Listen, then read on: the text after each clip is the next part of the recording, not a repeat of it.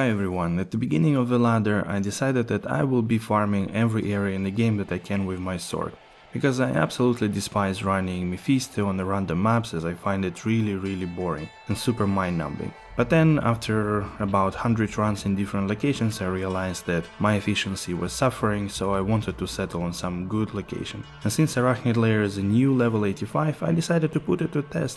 And that's why I have my 500 runs here. It's quad by the way.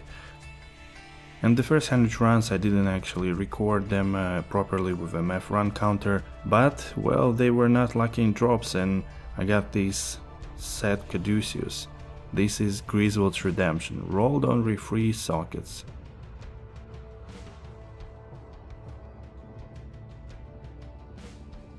Next item is nothing too crazy, Demon Hide boots, these are Inferno Stride, already went to TS for his Barbarian for Travincal. And then one huge drop happened here, Spired Helm, unique one. Which one is it going to be? Ah, dang it, this is a Veil of Steel, nobody ever uses this. Another really rare helmet drops next, unique armet. Such a shame that this item is not useful in D2R, Steel Shade with only 5 fire absorb. These drops you might have seen already from my first video, this is the Ohm rune from the Cocoon. After that I've been clicking every and each of them for the rest of 500 runs.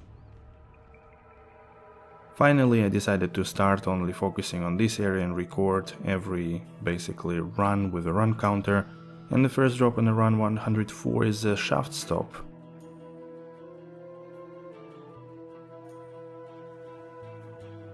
Very decent small charm from the sparkly chest, 5 of HR and 17 to mana.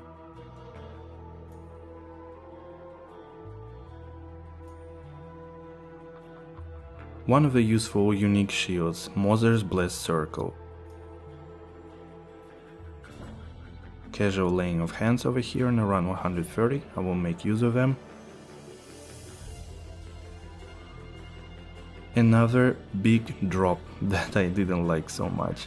Set Sacred Armor. At least I made a mal out of it. Immortal King's Soul Cage. I actually identified here really nice druid belt, kind of a little Shako. 2 to druid skills, some life, cold and lightning res. Another useful item if you want to become bulletproof, or for your merc for example, the unique sallet. This one is a Rockstopper. And the second drop on the same run is again really good small charm. At the beginning you really miss those and they become really handy lightning resistance is plus 11. Then finally on around 209 this happened. I'll leave it to you without comments.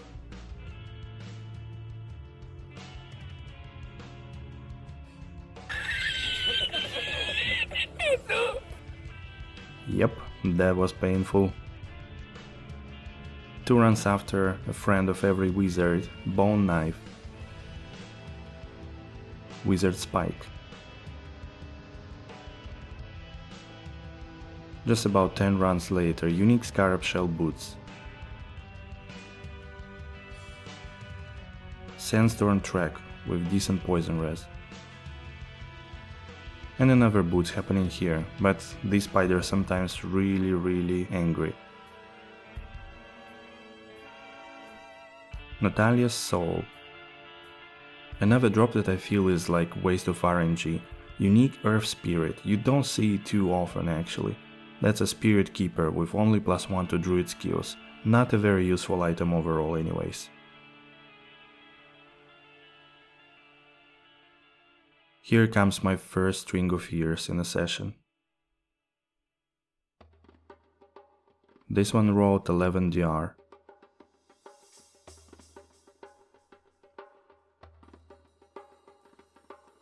Well, another disappointing Spired Helm, this time it's not unique but set one, Ondal's Almighty. and at the same run another unique helmet. This one is actually Death Mask.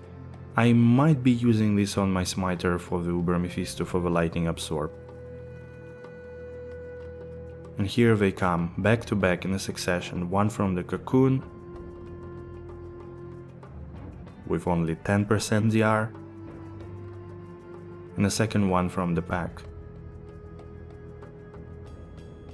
11% DR. You see, I'm super lucky this time. Unique Crusader Bow, again it's a good option for the bow zones early on, until you get your Wind Force. This is Eagle Horn with decent max damage. And there we go, yep, it comes over here, set diadem. Could have been easily something around Jah or Ber rune and only Pul rune this time, Mavina's true sight. Although this one I won't be really complaining about. This was really really good and also with a special appearance of resonating law over here in the chat. This is Mara's Kaleidoscope 27 ORS, let's go! Amazing drop, I was really happy to get it.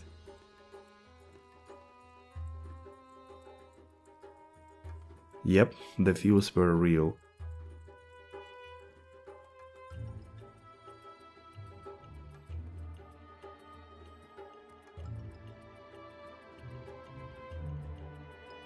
I was still hoping to find Shako, but I found the War Hat, the Peasant Shako, I mean Peasant Crown. Somehow I'm always happy to find this item, the unique maul, especially when it's ethereal. Eth Bone Snap.